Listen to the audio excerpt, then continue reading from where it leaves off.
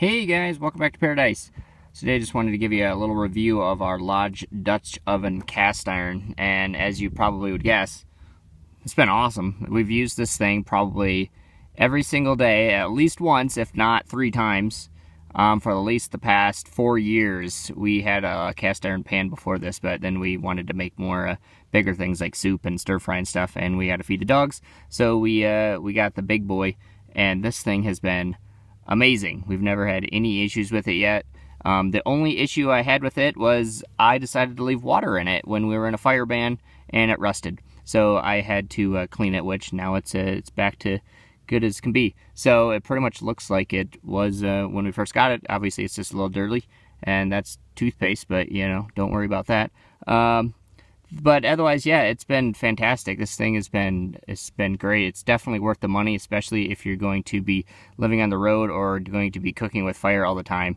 Definitely, definitely, definitely worth the money. And I definitely love the the uh, the Dutch oven because it comes with a lid. Um, trying to cook with a pan was kind of a pain just because there's no lid and it was always windy. And in this lovely uh, desert stuff like this, it's always blowing around. And when you got dogs, that's always going to be sand in your food. So that actually keeps some of the sand particles out.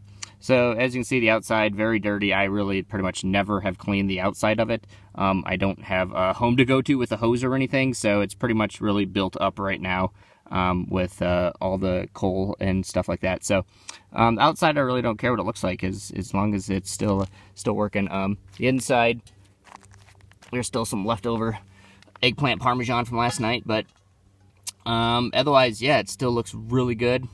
Um, still black. I, I, said I just uh, seasoned it again uh, a couple months ago because I left it get uh, rusty. But besides that, the thing is still working fantastic. The only issue I had with it was this plane that's flying overhead right now. Um, was uh, this the handle is just kind of a I don't know. It's just really small, so it or really thin metal. So if you try if you put on fire a lot, it'll get kind of uh, frail, I guess. So I bent it in one weird spot. Um, but besides that, that's the only issue I have uh, had with it.